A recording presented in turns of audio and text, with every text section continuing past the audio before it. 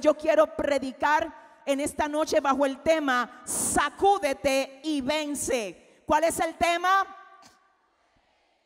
Sacúdete y vence. Yo no ignoro el hecho de que cada una de ustedes tiene una historia que contar, tiene un testimonio del cual hablar, tiene algo que en algún momento quizás pareció como algo que no iban a poder superar y a causa de eso quizás el enemigo para esta hora pensó que ustedes no iban a estar aquí. Que ustedes no iban a estar de pie, que Dios no las iba a defender como los, lo hizo, pero el Señor ha sido bueno con más de mil mujeres de las que están aquí. ¿Dónde están esas sobrevivientes que en esta noche pueden decir Dios ha sido bueno? ¿Dónde están? La mujer, diga conmigo, yo soy una mujer yo soy una guerrera, dígalo. Amén. La mujer es diseño de Dios. La mujer fue diseñada por el artista, el gran artista, el Señor. Dice la palabra de Dios que el Señor vio que no era bueno que el hombre estuviera solo. Bien, y dice Génesis capítulo 2, verso 18, y vio Dios que el hombre estaba solo y dijo, no es bueno que el hombre esté solo. Así que para que no esté solo, yo le voy a hacer al hombre una ayuda idónea. Fíjese que cuando el Señor piensa en nosotras, piensa en nosotras como una ayuda idónea. El diseño de Dios para nosotras como mujeres es el de ser ayuda idónea. Cuando vamos a ver en el original lo que significa la palabra idónea, viene de una traducción interesante. Literalmente el término idónea en el hebreo es esek y se traduce como fuerza que salva. Esta palabra literalmente se usa en el Antiguo Testamento más de 21 veces, hablando de la fortaleza y la salvación que procede de Dios para un ser humano. Así que cuando el Señor pensó en el diseño de la mujer, pensó en traer al hombre una que le pudiera ayudar con su influencia salvadora. No por lo que ella tiene por ella misma, sino por lo que ella tiene como diseño del que la hizo. No importa quién te quiera decir lo contrario, por diseño de Dios, tú eres una mujer idónea. Quizás el sistema te ha mal influenciado. Quizás la crianza que nos dieron no siempre fue la ideal. Pero independientemente de cómo se hayan dañado algunas áreas de nosotras, Dios siempre está en la disposición de restaurar su diseño. Y hay mujeres aquí que han pasado por situaciones que han afectado su diseño. El de ser una ayudadora, el de ser una dadora de vida, el de ser esa fuerza que el Señor diseñó para que sume y no reste. Pero sea cual sea la manera como el enemigo haya, aleluya, hecho que tú seas afectada para que no puedas ser todo lo que Dios quiere que tú seas. Hoy yo creo en el nombre de Jesús que el Señor vino a restaurar aquí todo daño que el enemigo haya causado a tu corazón. Si usted lo cree y está lista, dele fuerte el aplauso al Señor y diga conmigo ahora mismo, estoy lista. La Biblia dice, gloria a Dios, que la serpiente era astuta. ¿Cómo era la serpiente? Astuta más que todos los animales que Jehová Dios había hecho. Y dice la Biblia que a través de la serpiente, usándola como puente, como vehículo, Satanás habló con Eva. Habló con Eva y cuestionó lo que Dios había establecido para Eva y su marido para que pudieran permanecer en el huerto. La serpiente, le era astuta y engañó a Eva. El libro de Segunda de Corintios capítulo 11 verso 3, el apóstol Pablo dice, "Pero temo que como la serpiente engañó a Eva, los engaña a ustedes." Pero yo temo que como la serpiente engañó a Eva, los engaña a ustedes. Hello, un momento. Pablo está hablándome de la misma serpiente que engañó a Eva. Pero esto es miles de años más adelante. ¿Por qué Pablo sigue haciendo referencia a la misma serpiente? La razón es que la serpiente no es el animalito que usted ve por ahí nada más. La serpiente fue el método que el diablo usó como instrumento para engañar a la mujer.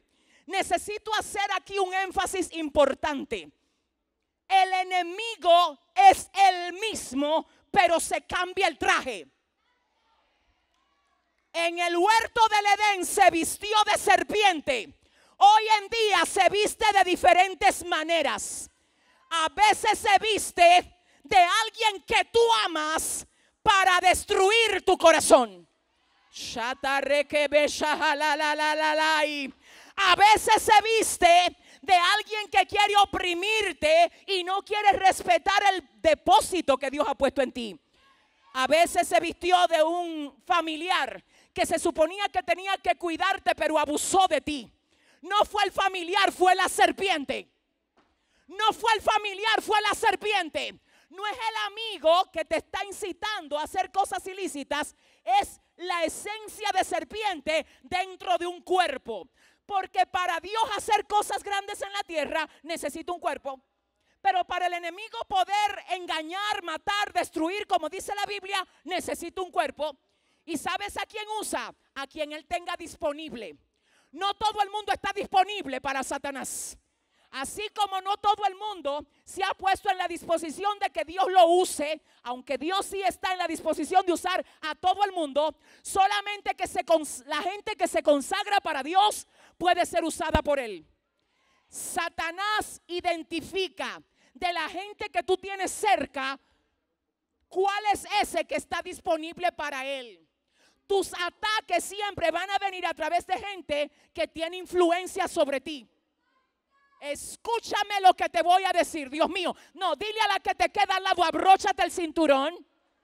Mm, no, no, no, tu hermana no te cree. Empújalo un poco y dile, abróchate el cinturón. Porque Dios te va a hablar en esta hora. Escucha esto. A veces te ataca a forma de herida haciendo que de la boca de gente que tú amas salgan palabras que traspasen tu corazón. Satanás sabe que teniéndote herida, tú no vas a poder producir todo lo que Dios quiere que tú produzcas. Así que cuando ataca tu corazón, no solo está pensando en ti, está pensando en todo lo que puede salir de ti cuando tú estás sana. Hay mujeres que tienen que entender que van a tener que sanarse porque Dios las sana y no porque el otro deje de tratar de herirla. Déjame explicarte. Hay mujeres que están esperando que aquel fulano lleno del diablo deje de herirla. Pero ese fulano lleno del diablo no cambia. Y tu condición emocional para sanarte es que el que está lleno del diablo deje de herirte. Eso hay que cambiarlo hoy. El asunto es cerrarle el acceso a todo lo que quiere herirte. Y el Señor te trajo aquí para eso. Así es que dile a la guerrera que te queda cerca, dile, cierre el acceso. A ver, a ver, a ver, a ver, a ver. Yo no sé si ustedes saben que en naciones donde, por ejemplo, bueno, tenemos el caso de, malaria, eh, creo que en el año 2014 en la nación de África, donde vimos por la noticia, la gente que ve noticia, que los médicos iban a atender los pacientes de malaria vestidos con unos trajes desde la cabeza y hasta la punta de los pies. Nunca un médico se acercó a un paciente con malaria estando expuesto, sino que iba con un traje que lo cubría desde la cabeza hasta los pies. Ese traje protegía al médico de no ser alcanzado del virus de la malaria. Y aunque estaba frente al paciente con malaria, el virus no llegaba a él. El Señor a ti también te ha preparado un traje. Y ese traje te hace inalcanzable ante los dardos de aquellos que quieren verte muerta. Pablo dice, vístanse de toda la armadura de Dios. Y si aquí hay una mujer hoy que vino con su armadura, que levante la mano y diga, estoy revestida de la armadura. Cuando tú estás revestida, tú tienes el traje. Diga conmigo, tengo el traje. No, no, dile a tu vecina, tengo el traje y los virus no me alcanzan. Una mujer con la armadura de Dios es capaz de vivir en una casa donde haya uno lleno de serpiente y ella quedarse quieta. Porque su paz no depende de lo que un hombre le dice o no le dice. Depende de Dios quien la tiene cubierta. Yo quiero saber dónde están las hijas que Dios tiene cubierta aquí en El Salvador. Si ese eres tú, alaba a Dios por un segundo para que el mundo espiritual sepa que tú no estás sola. Ay, no, no, no, no, no, espérate. Espérate que está buscando a quien tú más amas. La serpiente busca a quien tú más amas para tomarle la boca y hacer que te digan cosas como esta. Tú no sirves. Mira lo vieja que tú estás. Mira lo gorda que te ves. Mira qué mal te ves. Yo cancelo toda palabra de ay, ay, ay, ay, lanzada por el diablo para herirte, la cancelo y profetizo que aquí hay mujeres que se sacuden hoy de todo veneno del diablo para emprender la nueva temporada que Dios tiene para ellas. ¿Dónde están? ¿Dónde están? Entonces, en esa dirección no es que yo me tenga que salir de la casa porque mis hijos, porque el marido, porque la mamá, porque la tía, porque el primo, porque no, se pueden quedar ahí. Se pueden quedar ahí y yo me voy a quedar aquí. Si usted no se deja vencer por eso, entonces ellos van a tener que ser vencidos por la luz de Cristo que brilla a través de ti. ¿Dónde están las mujeres que alumbran el lugar donde Dios las tiene? Te voy a decir algo, mi alma adora a Dios. Hay cosas de las que tenemos que huir. Amigos que no edifican, cosas que no edifican. Hay cosas de las que vas a tener que desconectarte. Pero hay otras cosas de las que no puedes desconectarte. Dios te dice, desconéctate de lo que tienes que desconectarte. Pero no seas tan intolerante que no entiendas que hay cosas, aleluya, que yo las he dejado así para entonces usarte a ti para que sean diferentes. Necesito que me oigas una mujer que dice, no, porque yo no tolero esto, no, porque yo no aguanto esto. Le está huyendo a cosas que Dios quiere usarla a ella para cambiar. Te voy a decir lo que va a pasar aquí.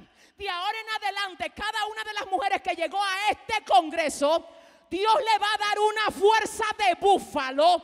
No es que yo no sé con quién estoy hablando. Dios le va a poner una resistencia siete veces multiplicada en el alma para que lo que antes te derribaba, ahora seas tú que lo derribes en el nombre poderoso de Jesús. Ay, Dios mío, siento a Dios.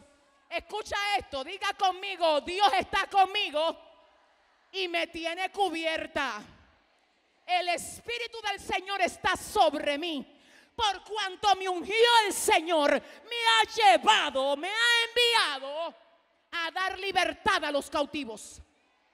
Hay gente que dice que tiene unción, pero no la quiere usar, porque anda todo el tiempo en fuga. A mí me parece que tú no eres honesto, me voy. A mí me parece que tú no eres bueno, me voy. A mí me parece, no, espérate, ponte el traje y quédate ahí. Porque el médico llegó, aleluya, usándote a ti como el vehículo para que vayas a llevar la medicina que ese paciente moribundo necesita. A ver, necesito que Dios me ayude aquí. Ayúdame, Jesús. Escucha lo que pasa. ¿Quién era el que iba a ver al, que tenía malaria? ¿Quién era? El médico. Y el médico iba forrado de un traje desde la cabeza hasta los pies porque había que atenderlo al que tenía malaria. El médico no decía, tiene malaria, me voy, ven acá para que tú estudiaste. Ay, ese es muy falso, me voy. Ven acá para que tú estés ungida. Esa unción tuya tiene que dar resultado aquí. No, déjame hablar con las guerreras del Salvador. Esa unción tuya tiene que hacer que el que está amargado sea libre, que el que está atado cambie el corazón, que el que no quiere buscar de Dios por causa de que tú no te rindes. Tenga en algún momento que decir, ay, yo no quería nada con Dios, pero mi mamá, pero mi esposa, ¿dónde están esas mujeres de guerra? Pero mi hija, ay Dios mío, oraba por mí, aunque yo no quisiera que llorara por mí. Y por causa de ella orar por mí, yo estoy hoy aquí. Perdóname, perdóname. Yo no sé, ustedes me permiten predicar como Dios me dijo que lo haga aquí. Escucha bien lo que te voy a decir. La fragilidad es tu enemiga.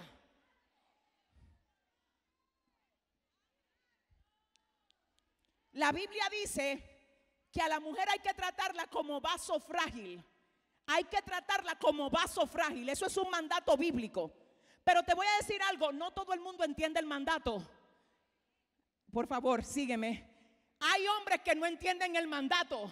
Hay gente cerca de ti que no entiende el mandato y lo menos que te está tratando es como si tú fueras frágil. Entonces, te voy a decir lo que pasa. La Biblia dice que no nos ha dado Dios ninguna tentación que no sea humana, más fiel es Dios que no nos dejará ser tentados más de lo que podemos soportar. Cuando el Señor ve que a ti te tratan de matar, Él va a poner un refuerzo para que tú puedas soportar. Ay Dios mío, ¿dónde están las mujeres que se llevan el refuerzo? No, no, no, vamos, dile a la que te queda al lado, deja de estar llorando, dile, sécate las lágrimas. Comienza a dar la medicina que Dios te ha dado. Tú no eres víctima. Perdón, tú no eres víctima. No, no, no. Tú eres una sobreviviente. Una víctima no hubiese estado aquí hoy. Porque si hubiese quedado enterrada en el dolor y en el proceso, aunque tú hayas llegado aquí arrastrándote, eres una sobreviviente porque estás donde Dios te quiere. Yo quiero siete sobrevivientes ahora dándole la gloria al que vive y al que reina por los siglos de los siglos. Escucha esto, le Te voy a decir algo. A veces, ay Dios mío, Dios usa lo externo para transformar lo interno. Cuando usted tiene una presión por parte de gente hostil, usted va a tener que hacer algo. Póngase el traje. Déjame explicarte. Es que yo no he salido de aquí, el Espíritu Santo no me ha dejado todavía salir de este punto.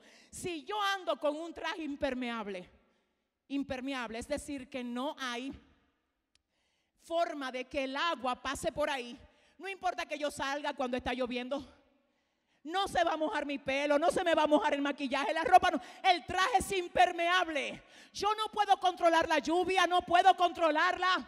Ella va a seguir cayendo. Yo lo que puedo es asegurarme de que a mí no me falte. Tú sabes el problema de nosotras las mujeres, que a veces queremos que la lluvia pare teniendo un traje. Y Dios lo que te está diciendo, deja que la lluvia caiga y tú Dile al que te queda al lado, tengo traje, dile. Dile, quizás no tengo gente conmigo, pero tengo traje. No tengo a nadie que me apoye todavía, pero tengo el traje. Todavía no he encontrado al esposo que Dios dijo que me va a dar, pero ah, ¿dónde están las que tienen el traje aquí? Su Escúchame bien. Dios mío, por favor, escucha esta oración que desde este día estas mujeres no se dejen mover fácil. Que desde este día, aleluya, nadie pueda herirlas. Señor, que desde hoy ellas salgan siendo guerreras con traje para sanar a aquellos que están llenos del virus de serpiente alrededor de ellas. Diga conmigo, estamos en guerra, pero yo me sacudo porque voy a vencer. Siéntate un momento y escúchame, por favor, llévate esto.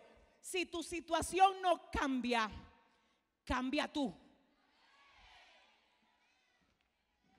A veces el problema no es el viejo lugar.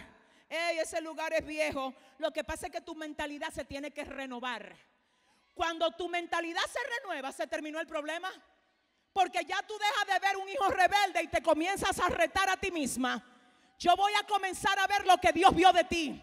Porque yo no le parí hijos al diablo. Herencia de Jehová son los hijos y cosa de estima el fruto del vientre. Declara a tus hijos instrumentos de Dios. Pastores que cada día me ofenden más, me irrespetan más, me maltratan más. Ponte el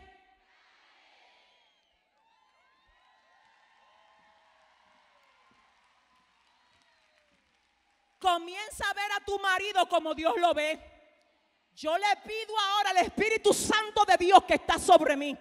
Que todo marido desequilibrado, rebelde, que maltrata a su esposa, se convierta en el esposo más amoroso que tú hayas podido, ay Dios mío, entender que existe. Yo no sé si usted está creyendo que Dios está preparando sorpresas para sus hijas preparando sorpresa para esas mujeres que no se rindieron cuando todo parecía al revés. Preparando sorpresa para esas mujeres que a pesar de que todo parecía estar en su contra, ellas no dejaron de doblar rodillas. Ellas no dejaron de creer en el Dios que las sostiene. Ellas se han mantenido, aunque débiles a veces, pero en el lugar donde Dios las quiere. Y si tú por alguna razón te desviaste, te apartaste de ese lugar, esta es una noche extraordinaria para que tú vuelvas a ocupar tu posición de guerrera. Dale a Dios la gloria y prepárate para lo que sigue. Dile a la que te queda al lado, te dije que te abroches el cinturón. Ay Dios, ay Dios mío, déjeme ver, a ver, escúchame algo. Cuando el enemigo ve, porque déjeme decirle, no son todas las mujeres que se que se, que se deshacen ante una palabra que hiere. Hay algunas que ya superaron eso. Es más, le voy a decir algo. Hay mujeres que ya entendieron que a veces la gente te habla y te dice cosas y no es por lo que tú eres, es por lo que ellos son. Por eso hay un dicho en mi país, República Dominicana, no sé si aquí, pero de donde yo vengo, hay un dicho que dice, las palabras se toman por quien la dicen. Así que antes de tú ponerte a llorar, antes al que te está diciendo de que, que tú no eres nada y que tú no sirves, ve a ver de qué fuente es que eso está saliendo. Porque tú vas a tener que entender que hay gente que está tan herida que lo único que quiere hacer con su vida es herir a otros. Hay gente que está tan traumada que lo único que quiere hacer es traumar a otros. Pero ese no vas a ser tú en el nombre de Jesús. Ahora bien, voy, voy a hablar ahora de la segunda manera como el diablo, la serpiente, el enemigo, trata de embaucarte, engañarte y deshacer la obra de Dios en ti. ¿Cuántas están listas? La primera forma es como hiriéndote, porque sabe que si te hiere todo lo que tú puedes desarrollar, crear, manifestar estando sana, entonces se atropella. De hecho, miren, no sé, cuando yo, yo tenía alrededor de algunos 10 o 12 años, no me acuerdo bien, pero yo estaba entre los, eh, muy temprano en la adolescencia, cuando había una novela que daban, yo la oía porque en mi casa la veían, se llamaba Dos mujeres y un camino. No, ustedes se ríen, pero déjenme decirle había una canción en esa novela que dice, oiga lo que decía, por causa de él yo soy, a ver cómo era que decía, mariposa que no voló, una flor que se marchitó. Eso soy por culpa del hombre que me engañó, decía la, la canción. Escucha la declaración de una mujer que escribe una canción y la canta. Ella dice, yo soy mariposa que no voló porque yo iba a volar, pero no volé. Mariposa que no voló, una flor que se marchitó, es decir, que murió, que iba a perfumar e iba a alegrar la vista de quien la viera, pero se marchitó por un hombre que la engañó. En otras palabras, déjame ponerte esto a la luz de la palabra.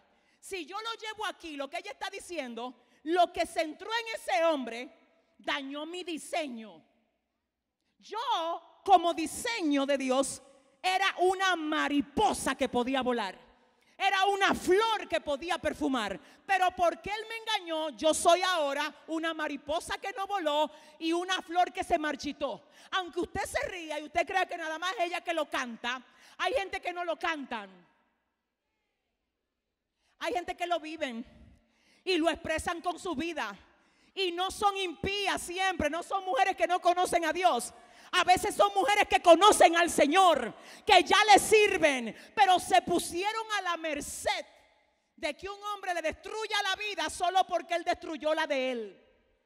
Escúchame bien lo que te voy a decir. Tú estás para restaurar al que se dañó. No para dejar que el que se dañó te dañe a ti también. Si ese es el aplauso, dale fuerte ese aplauso al Señor. Y diga conmigo, yo soy una hija de Dios. Esas heridas vamos a tener que aprender a, mire, hoy profetizo sanidad del alma aquí. Señor, pon tu vendaje en cada corazón que ha sido lastimado. No importa si es el de una esposa, el de una madre, el de una hija. Tú viniste hoy a sanar el corazón de tus hijas aquí. Mujeres a las que hoy tú le pones la firmeza de espíritu para que puedan permanecer firmes sin deshacerse ante cualquier ataque del enemigo que intente herirlas. ¿Alguien dice amén? Punto número dos. Diga conmigo dos. Otra forma como el enemigo busca hacer que tú pierdas tu esencia es enfocándote en cosas que no tienen importancia. No todo merece tu atención. No con todo se pelea. Hay gente que está peleando con todo. Déjame decirte algo. Tienes que escoger tus batallas. Porque si estás peleando con todas tus situaciones a la vez, te vas a desgastar. Hay batallas que se pelean haciendo silencio. Y así es que se ganan en el silencio no es peleando, no es discutiendo, no es reclamando, no es gritando, no es estrellando platos. Es, mírame, haciendo silencio.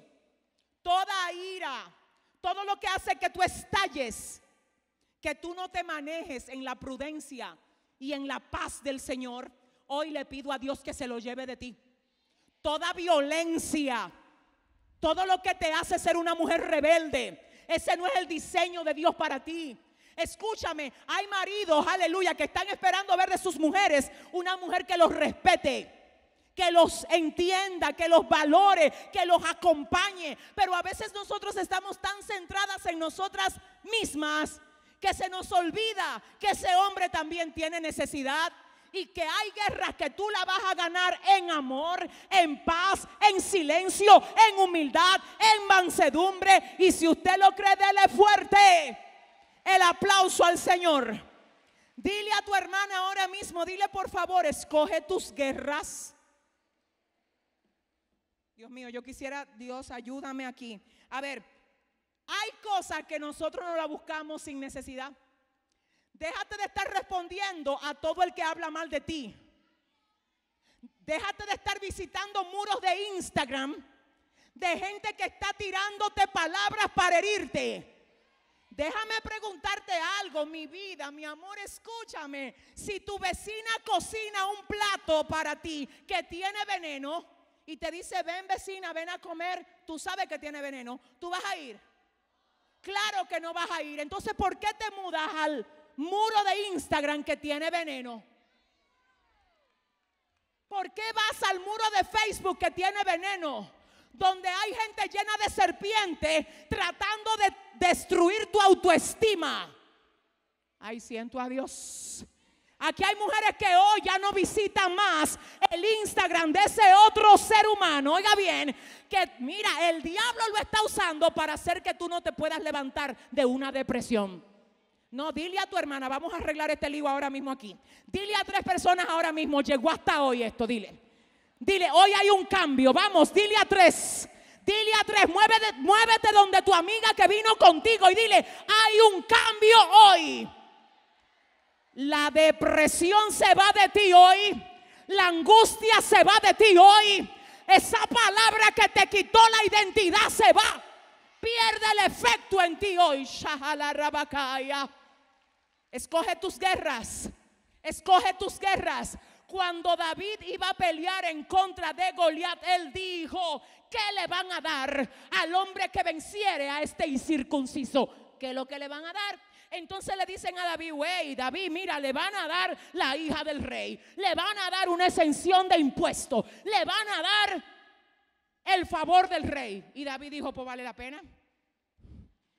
Cada vez que tú vayas a pelear con algo, pregúntate.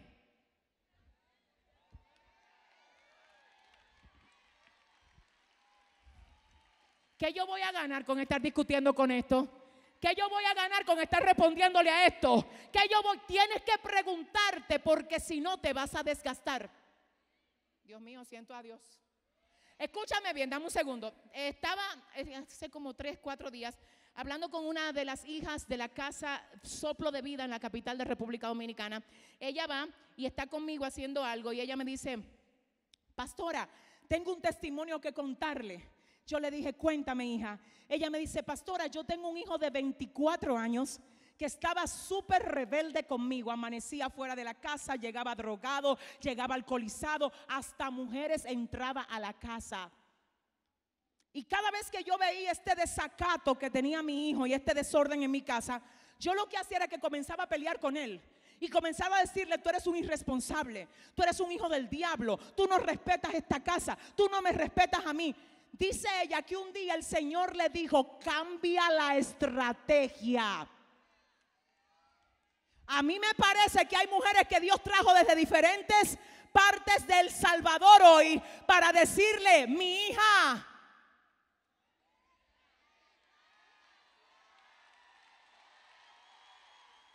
cambia la estrategia. ¿Tú sabes lo que Dios le dijo a esa mujer, esa guerrera? le dijo, no pelee con él, pelea con quien lo usa. Ay, ay, ay, ay, ay, ay, ay, ay, ay. Oye, ¿cómo es? No pelees con él, pelea con quien lo usa.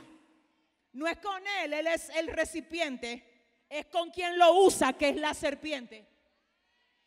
¿Me entendiste? Entonces escúchame, en esa dirección es más potente que ella se encierre en su habitación y diga, oye bien, Satanás, lo que te voy a decir. Tú no tienes parte ni suerte con mis hijos. Te ato y te reprendo, te echo fuera de esta casa. Demonios de alcoholismo, de prostitución, de drogadicción, fuera de mi casa. Así se pelea esa guerra. Ella me dijo, pastora, tengo un mes así.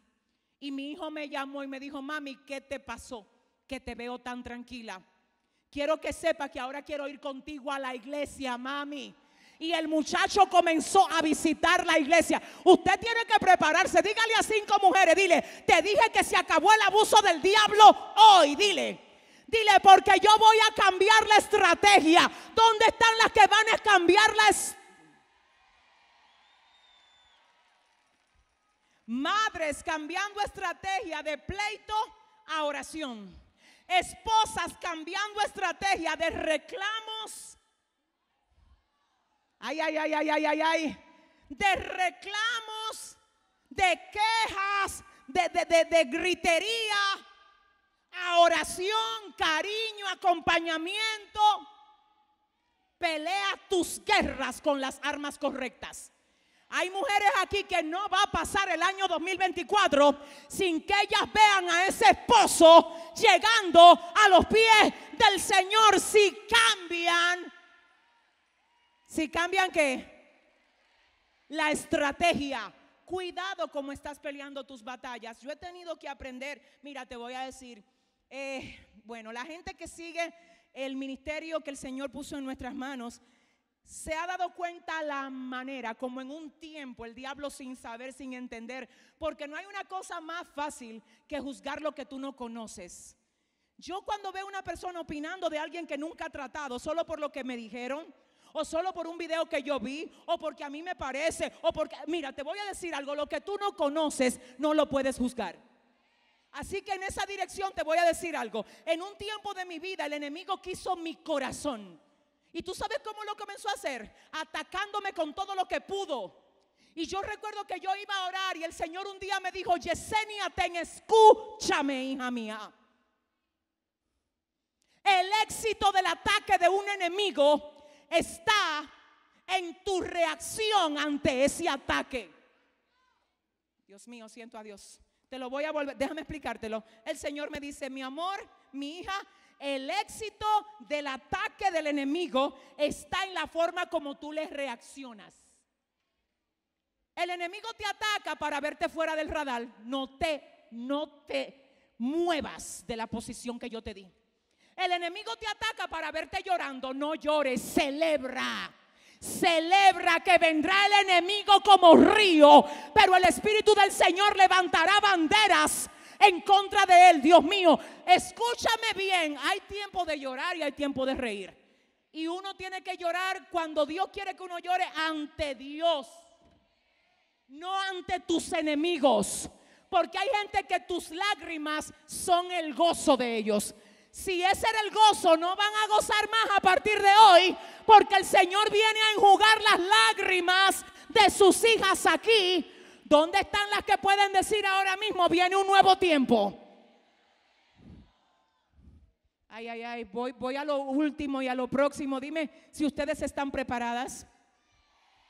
En el nuevo tiempo, una de las cosas que tienen que pasar es que tú vas a tener que elegir con quién tú andas. Hay mujeres amigas que tú te relacionas con ellas que no le suman en nada al propósito que Dios tiene contigo. En nada. Tú te llenas de Dios y los comentarios de ella te vacían. Tú quieres pasarle el proceso a Dios como Él te dice, pero ellas te tienen otra, otra idea de cómo tú debes manejarte. Tú bájate, mira, déjame decirte algo. Tu nivel de crecimiento se ve en gran parte por los contactos que hay en tu celular. Cuando tú estás creciendo, hay un grupo de personas que edifican, que están entrando a tu contacto, y hay otras que se están saliendo porque tú le estás borrando. ¿Por qué? Porque no me edifican. Aleluya. Ahorita yo te decía, escucha bien, escúchame bien. Tú tienes que manejarte con el traje. Hay lugares de donde tienes que permanecer porque ahí Dios te quiere. Pero si tú tratas y tratas de ayudar a alguien y no se deja ayudar, una amiga rara no te puede llevar a ti al mundo. Si tú tienes que correr de algo para que no te lleve al mundo, no te desenfoque de lo que Dios quiere hacer contigo, porque déjame decirte, espérate, dice la palabra que el Señor le habla a Jeremías y le dice, no te conviertas tú a ellos, que se conviertan ellos, dígalo más fuerte, que se conviertan ellos entonces yo puedo tener personas que necesitan de Dios, pero es para hablarle de Dios y presentarle el mensaje de salvación. No es para convertirme a ellos. Y tú no te puedes convertir en tus amigas que no tienen temor de Dios. Tú no te puedes convertir en esa amiga malcriada que no respeta a su marido. No te puedes convertir en esa amiga que no le importa si se acuesta con un hombre casado. Se me fueron. No te puedes convertir en esa amiga que se llena de odio en contra de la que está avanzando, porque tú sabes que la envidia aquí, aleluya, la envidia aquí no es necesaria, porque con cada quien Dios tiene algo, algo específico. No vamos, dile a la que te queda al lado, dile, tú no eres mi competencia. Dile, tú no eres mi... No, díselo de verdad, por favor, empújalo y dile, yo no tengo competencia contigo, dile, ni tú tienes competencia conmigo, dile, nosotros somos complemento, no competencia. Siéntate un momentito y oye esto. En el libro de Génesis capítulo 30, verso 14, dice la palabra que Lea, ¿saben quién era Lea? La esposa primera de Jacob. Dice la Biblia que un día Rubén estaba en el campo y se encontró con unas mandrágoras y las tomó y se las llevó a su mamá Lea. Cuando Raquel vio que el hijo de Lea le había llevado las mandrágoras, ella habla con Lea y le dice, dame de las mandrágoras que te trajo tu hijo para que yo pueda concebir y dar a luz.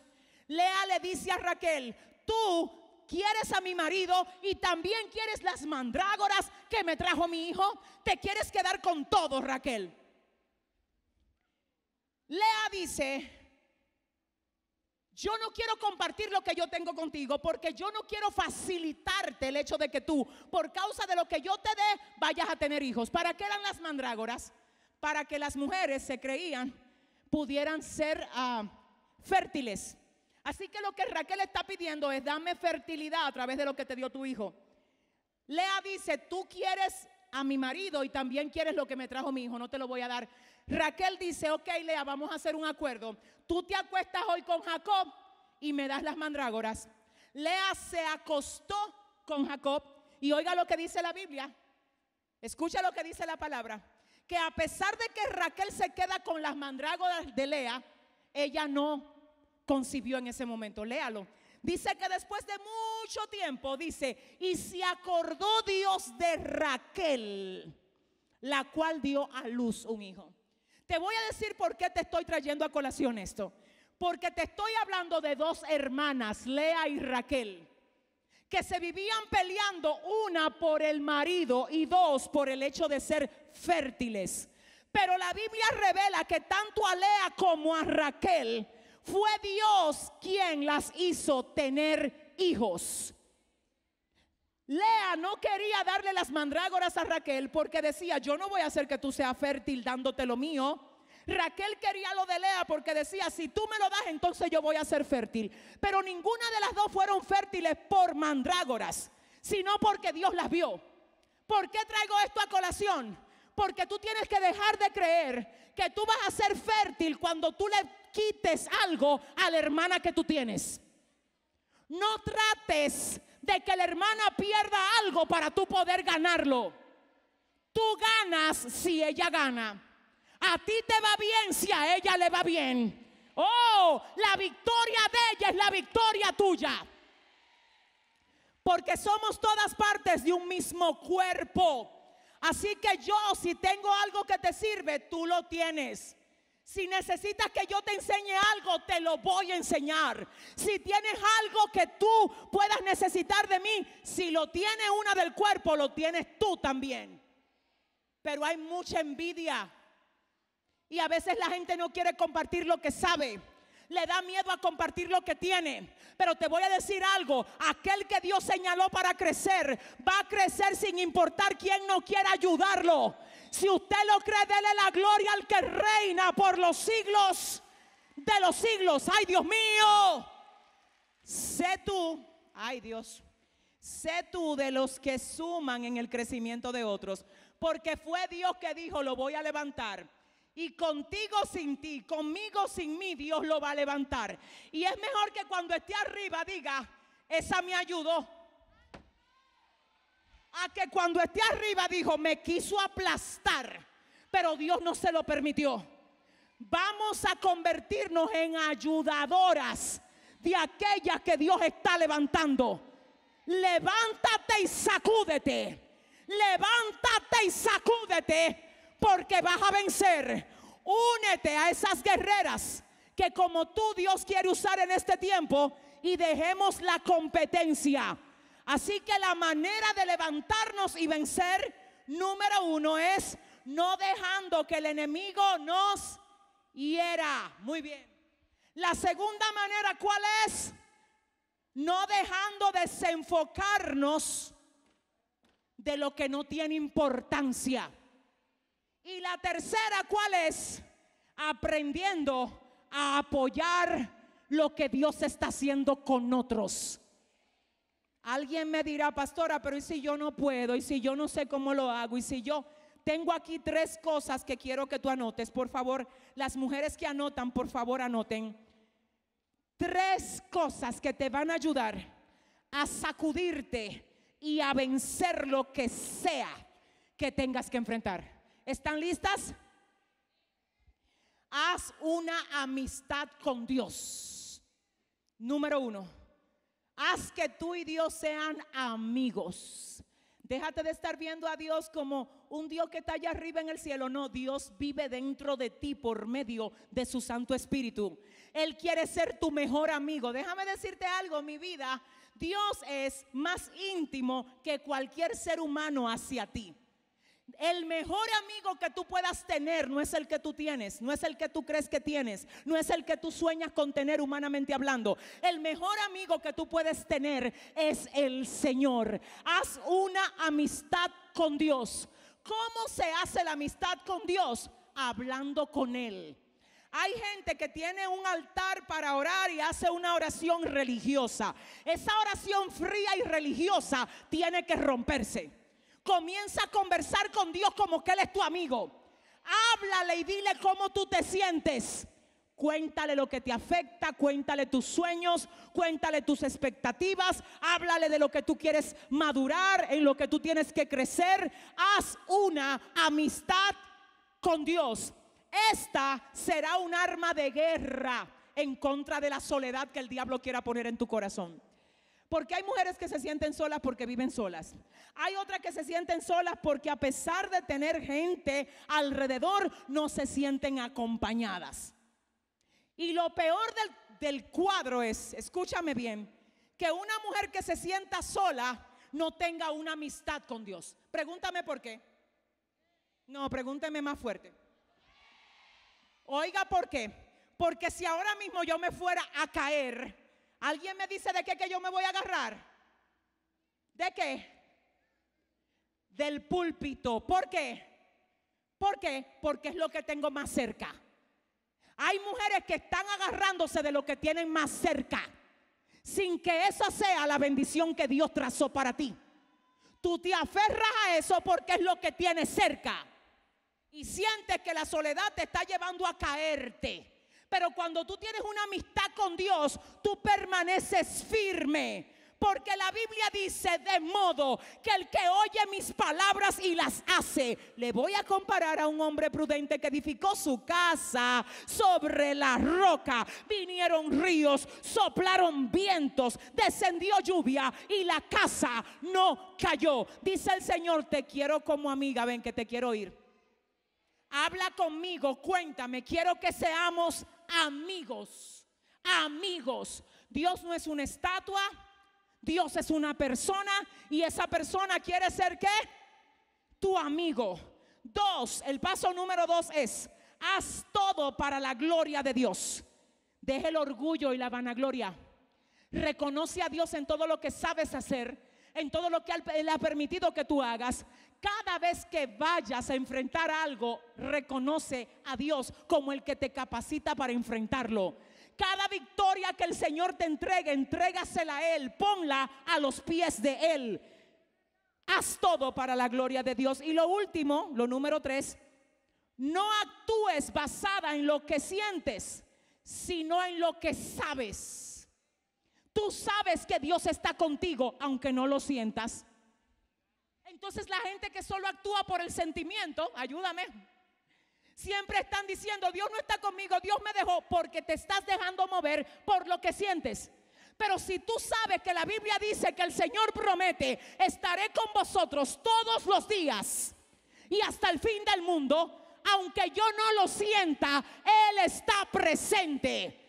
Y yo quiero que las mujeres que saben que Dios está presente con ellas, que le dé un fuerte aplauso al Señor ahora.